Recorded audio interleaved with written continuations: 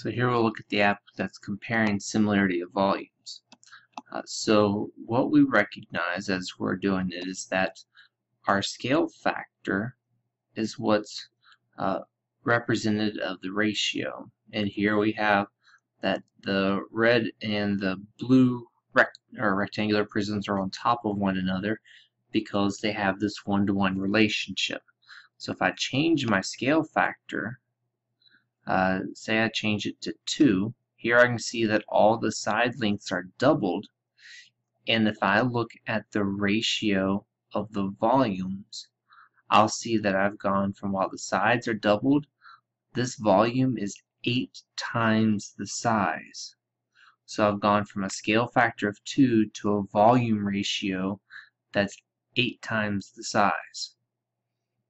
Say then, uh, if I go up here and look at uh, the questions, it wanted me to then try out alphas at 4, 5, 10, and see what's going on. So more than anything, is just continue to look at different um, scale factors and I can even look at halves if I want so here I've tripled every side length but what I noticed between these is that this is 27 times the size of uh, the original the red uh, rectangular prism so while the scale factor is 3 the volume ratio is 27 to 1 now if I go to 4 every side is 4 to 1 but the volume is 64 to 1.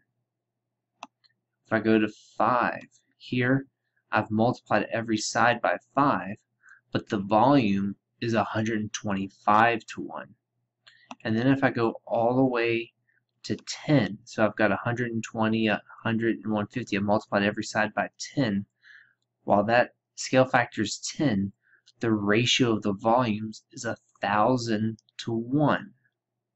And that's because this way that we determine volume, as you can see, is that it is the scale factor cubed because it's the scale factor to the length times the scale factor to the width times the scale factor to the height.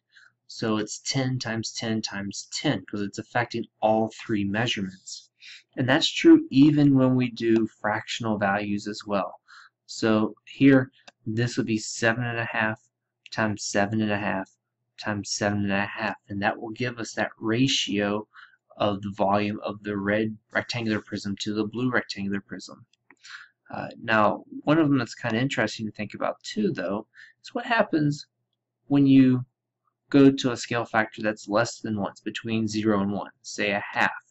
So every side is a half of the original red. And what I would notice though is that that's one half the length, one half the width, one half the height. Uh, one half times one half times one half would be one eighth of the original uh, of the red rectangular prism. So it's still the same idea. It's just that your um, your volume ratio is going to become that much smaller.